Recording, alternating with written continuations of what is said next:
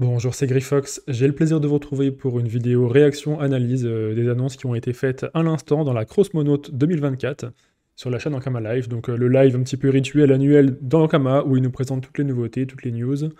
Euh, c'est un live qui porte sur tous leurs produits, mais évidemment ici on va se concentrer sur la partie Dofus, c'est ce qui nous intéresse le plus. Et je précise que cette vidéo, vous pouvez n'en écouter que l'audio, c'est juste une petite prise de parole. Comme d'hab, moi j'ai mes notes pendant le pendant Live et je vous fais directement une petite synthèse à chaud en ciblant vraiment euh, les éléments hyper pertinents pour les gros joueurs de FUS et en allant directement à l'essentiel. Allez, c'est parti. Alors, petite spécificité, euh, l'Ankama Live nous a été présenté par Zulu, ce que j'ai trouvé très sympa. On a commencé avec quelques infos, alors c'est pas exactement Dofus, mais ça concerne un petit peu quand même sur l'Ankama Launcher, où en fait il va y avoir des séries, des films et des webtoons euh, qui vont y être accessibles. Alors c'est déjà plus ou moins le cas aujourd'hui, mais c'est quelque chose qu'ils vont étendre. Et il y aura aussi d'autres fonctionnalités et tout. Bon, je ne rentre pas dans les détails, mais en gros, euh, voilà, ils vont développer un petit peu le côté euh, transmédia et tout le côté audiovisuel qu'ils peuvent nous proposer, où ils font des très belles choses chez Ankama, on le sait. Plus spécifiquement sur Dofus, alors on commence, ils nous ont remis avec la roadmap, c'est-à-dire les objectifs qui vont arriver en 2024, avec plus ou moins l'ordre, les dates et compagnie. Euh, il nous parle d'un équilibrage ou d'une refonte, euh, mais alors c'est un peu flou parce que sur le visuel c'était écrit euh, Feka Steamer Sadida, donc pour début 2024, sauf que quand ils en ont parlé, ils ont dit d'abord Feka Steamer et après ils ont dit Steamer Kra. Donc je sais pas exactement quelles sont les classes concernées dans quel ordre, mais bon voilà, globalement il va y avoir quelques petites retouches de classe, équilibrage et compagnie, ça c'est plutôt chouette. Ça devrait arriver à la mise à jour de mars en principe. Euh, première grosse annonce, première grosse nouveauté, un événement sur Ombre aura lieu en mars. Euh, ça va être un, genre de rush serveur avec un nouveau serveur, euh, avec beaucoup de choses qui vont être mises en place par Ankama en lien avec la communauté. Ça a l'air d'être quelque chose de très original et j'espère pour eux que ça va bien marcher parce que c'est le genre d'événement, je pense, qui manque sur Dofus. Et là, on sent qu'ils ont voulu créer quelque chose d'un petit peu nouveau. Donc il y aura un live de présentation fin février de tout euh, cet événement, sachant qu'il y aura euh, certaines spécificités, notamment des succès pionniers, c'est-à-dire qu'il y aura une mécanique de rush et où les temps de premiers joueurs à avoir accompli, euh, bah, un succès en jeu en fait auront un succès spécial. succès pionnier, donc ils ont parlé par exemple des 5 premiers joueurs qui auraient accompli une action dans le jeu. Et en fait, ça c'est clairement une, une feature qu'ils peuvent tester, qui pourrait éventuellement s'implanter plus tard sur Dofus. Alors, Bon, pour moi, c'est quelque chose d'assez euh, délicat. Pour des événements type euh, voilà, événements Rush Server ou éventuellement des temporis, pourquoi pas, je pense que c'est très chouette. Pour euh, le long terme sur Dofus, c'est peut-être un petit peu embêtant que certains aient des points de succès que d'autres ne puissent pas déverrouiller. je sais pas ce que vous en pensez, est-ce que ça vous hyperait plutôt de voir des succès comme ça à usage limité sur un serveur, ou est-ce que vous trouvez ça super? Moi, je, me mets dans la peau d'un joueur qui n'a pas pu jouer pendant euh, quelques mois, mais qui est un gros joueur de flux sur le long terme, et euh, il y a une nouveauté qui sort, il peut pas choper le succès pionnier dessus alors qu'il a voulu rush. Et bah, pour toute sa vie de joueur, il pourra pas avoir le succès sur son compte, sachant qu'il y en a qui rush les ladders et tout. Ça me paraît peut-être un petit peu compliqué. Mais euh, voilà, c'est pas du tout dit que ça va arriver sur des vrais serveurs, hein, mais comme d'habitude, en fait, sur les événements, les temporis ou les trucs comme ça, ils peuvent tester plein de choses, et après, si ça marche bien, ça peut devenir des features dans le jeu. Donc je suis curieux de voir vos retours là-dessus.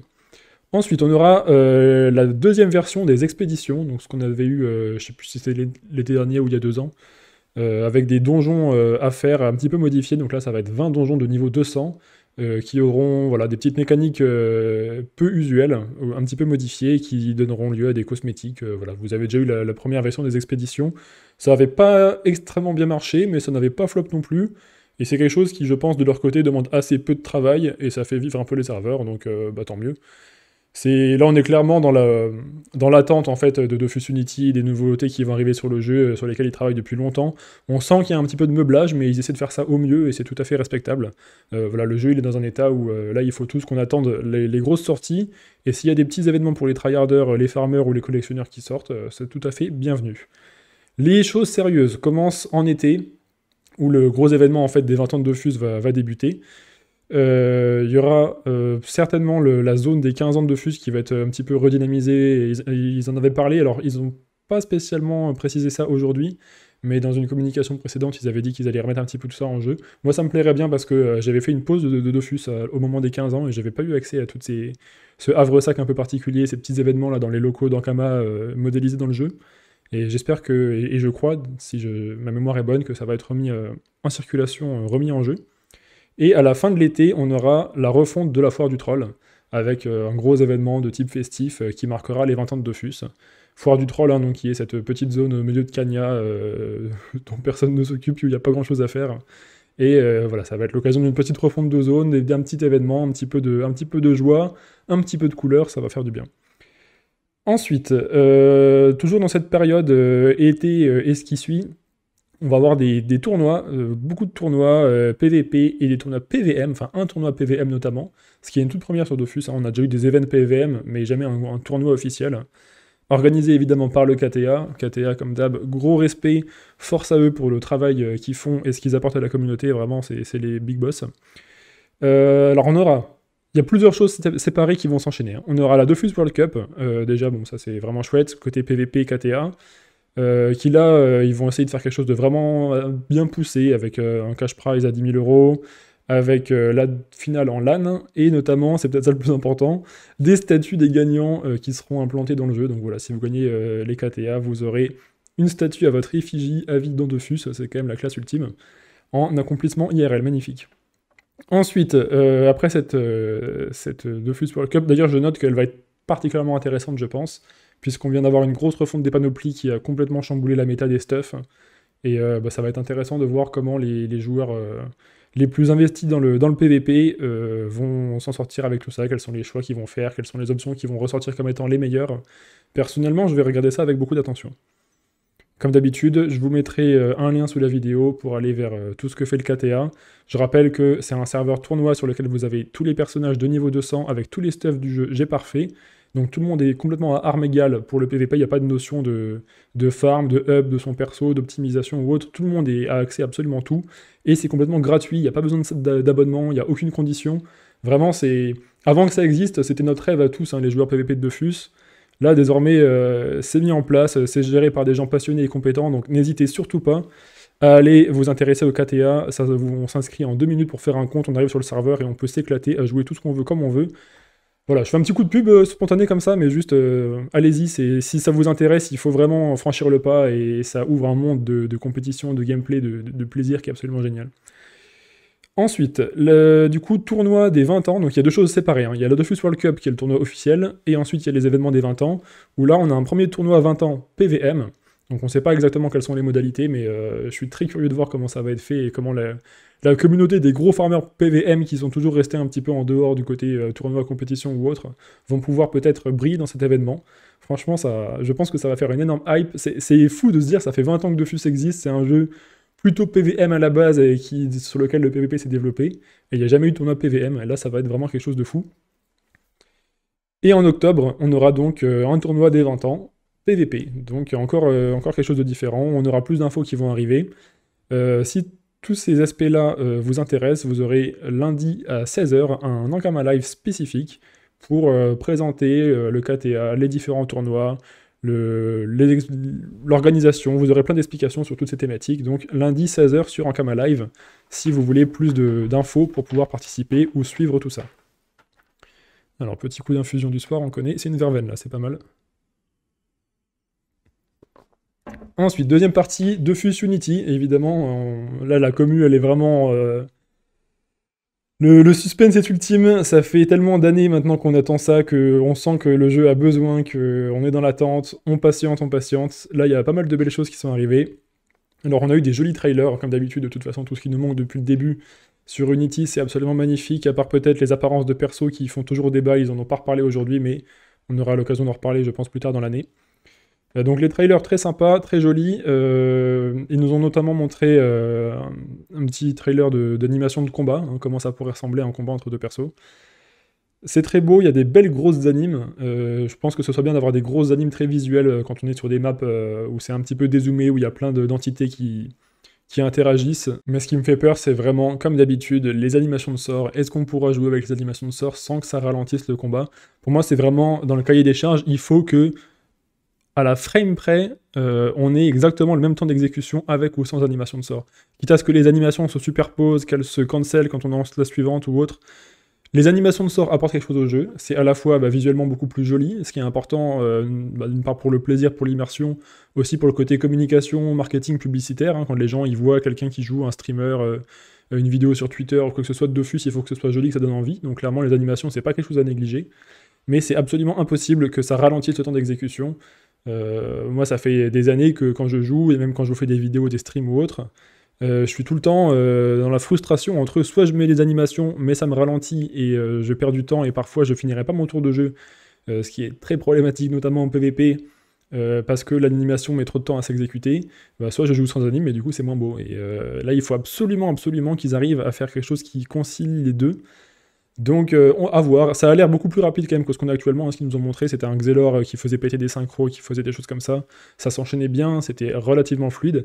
Mais si on a une demi-seconde de plus que sans animation, moi je jouerais sans animation. Et euh, j'espère vraiment qu'ils arriveront euh, à s'en sortir avec ça. C'est vraiment pas une, problématique qui est simple à résoudre, mais il faut euh, s'y pencher avec beaucoup de soin, je pense. Ensuite, une énorme annonce qui est sortie un peu de nulle part, qui a surpris tout le monde et en positif. C'est que, attention, attention, il passe en recherche et développement sur le multicompte dans un seul client sur Dofus, euh, ce que réclame la communauté multicompte depuis des années et des années et des années, où on est tous à galérer euh, avec nos fenêtres, à essayer d'avoir des petits logiciels, des petits utilitaires, euh, des fois avec les CGU c'est un peu compliqué, alors que juste on veut une, ergonomie basique de jeu pour pouvoir jouer dans des conditions acceptables. enfin, ils vont se pencher côté Ankama sur l'établissement d'un outil qui nous permettra un bon confort de jeu en multi-compte, euh, vraiment intégré directement dans le jeu. Donc ça, c'est vraiment très très chouette. Initialement, ils n'avaient euh, pas prévu de, s'y mettre. Hein. Quand ils ont communiqué là-dessus ces derniers mois, ces dernières années, c'était toujours euh, non, on n'est pas sur ce, sur ce chantier. Mais en fait, la demande de la communauté, elle a été tellement forte là-dessus qu'ils ont fini par dire ok, ok, on s'y met. Donc c'est pas annoncé avec une date particulière pour l'instant, mais en tout cas, ça vient de passer en R&D côté Ankama.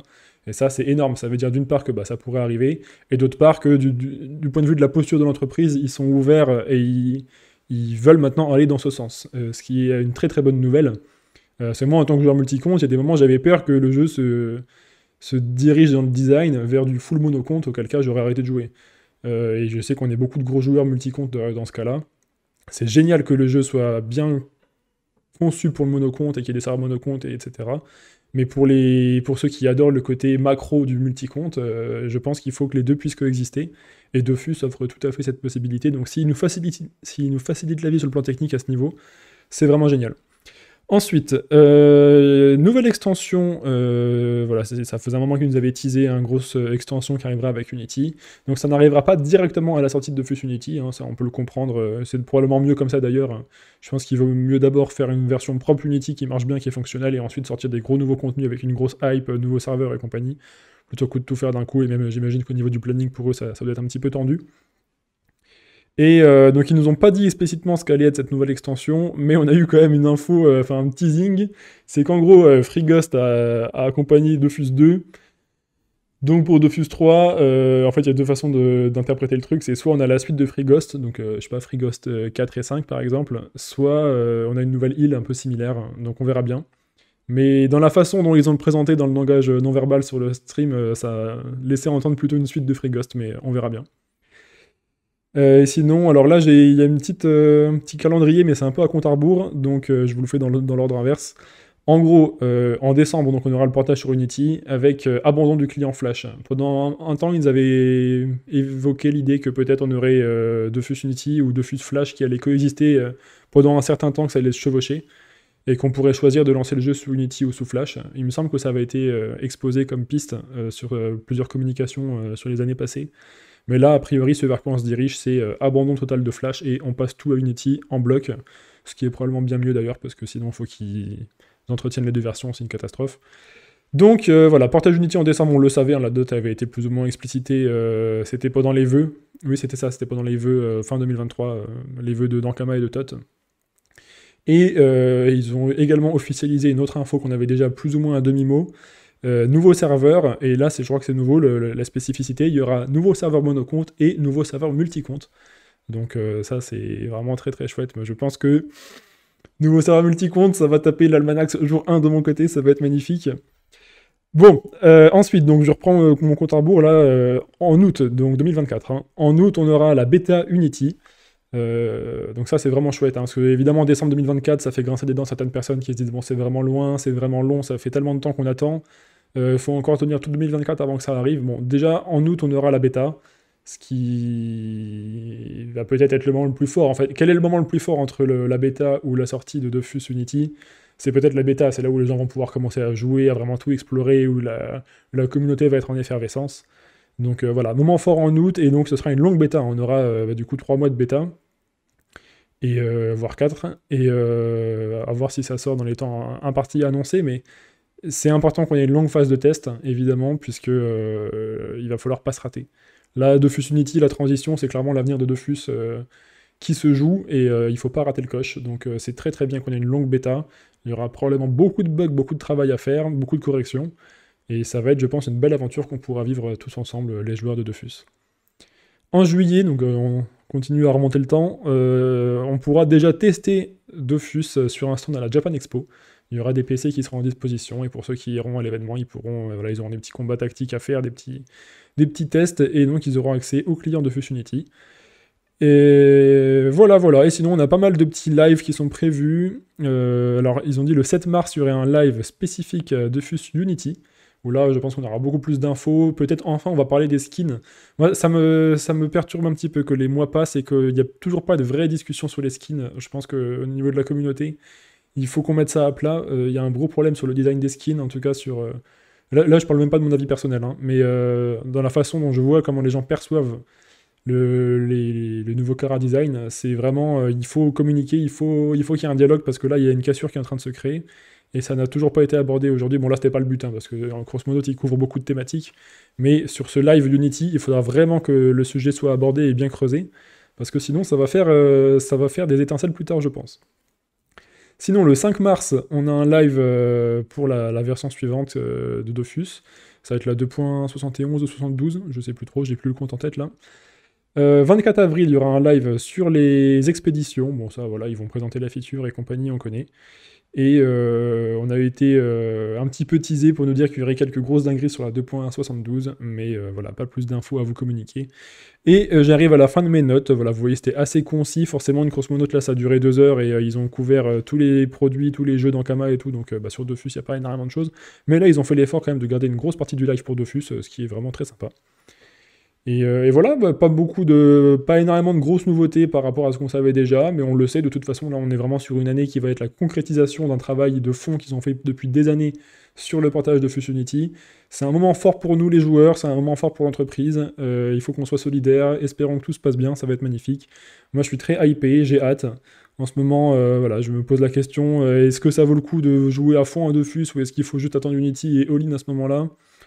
On va voir. N'hésitez pas à me dire comment vous percevez tout ça, ce que vous en pensez, comment vous vous sentez aussi en tant que joueur, en tant que passionné de Dofus depuis des années.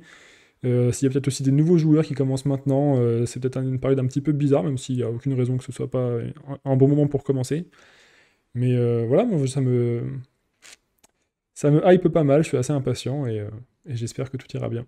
Voilà, écoutez, je vais rester là-dessus, je vais pas vous faire une vidéo très longue, comme ça on reste un petit peu focus sur l'essentiel. Beaucoup de, nouveaux lives qui vont arriver dans l'année, euh, j'essaierai à chaque fois de vous faire des réacts, des analyses et compagnie. Euh, voilà, bah, écoutez, si ça vous a plu, vous pouvez liker, partager, vous abonner, commenter. J'essaie de lire tous vos commentaires et j'y réponds souvent. Sachez que vous pouvez suivre mes aventures sur Twitch et sur Twitter, vous avez tous les liens en description. Moi, je vous souhaite une bonne journée ou une bonne soirée, prenez soin de vous et à bientôt.